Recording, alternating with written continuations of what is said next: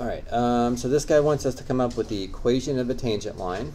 So definitely need to know the easiest way to write the equation of a line, which is point slope.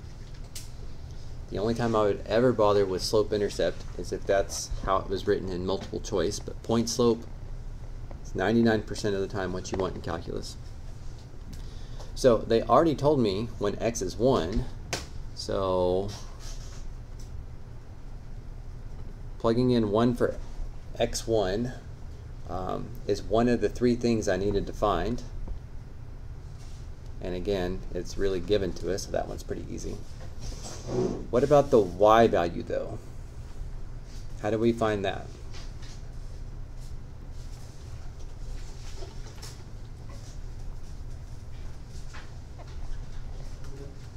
Okay, plug it into what? If you want a point, you plug into the function. So when x is 1, we get 3 plus 2, which is 5. So I don't know what this curve looks like, so let's just pretend it looks like this. But if the tangent line has a point at 1, 5, then this curve has a point at 1, 5 too. Like that's the place where they're touching. So so now that I know y is 5, it's going through 1, 5. I've got two of the three things I need for my answer. Right, and then if you need slope, you need derivative. So derivative, I want to know the derivative at this x value.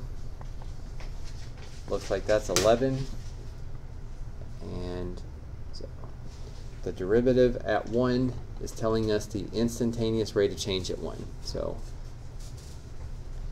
that's what I would go with. And let's see if they made theirs look a little bit different.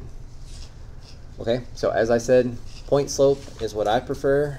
When you guys do FRQs, it's a complete waste of time.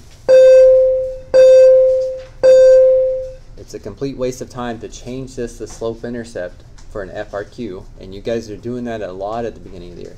So like, it's fine. If it's mathematically correct, that's great.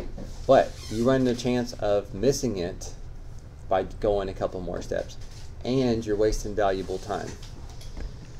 But for this question, pretending like this is multiple choice, because this is not how they had it look in the back, you could change it from um, point slope to slope intercept by distributing your 11 and then adding your 5 over.